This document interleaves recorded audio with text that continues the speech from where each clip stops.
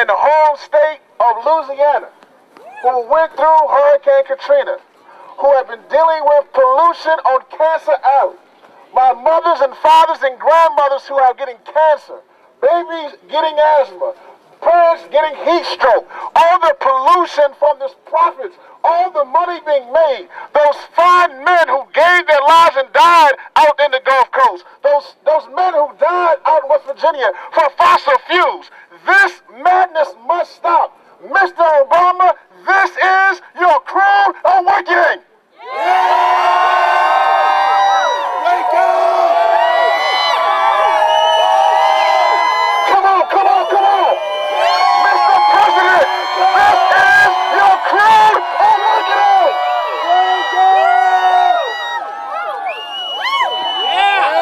So I think the one thing that th- th- this disaster has shown us, if there's anything that should happen right now, when we come back here, there definitely should be solar panels back on the White House.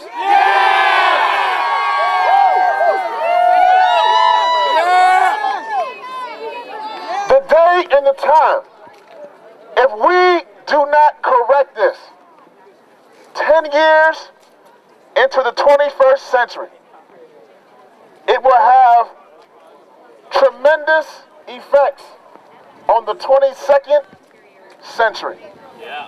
We don't stand here in the rain simply because of the crude oil spilling in the Gulf Coast. We recognize now this is for future generations. If we don't get this right now and stop our addiction to oil and gas and coal and change to solar and wind, that not only are we at risk, but our entire planet is at risk. So we stand here now because digging those old dirty fossil fuels out of the ground have got to stop. And at this moment, at this time, offshore drilling must stop now. That's not good enough. If you drilling to stop now, then somebody make some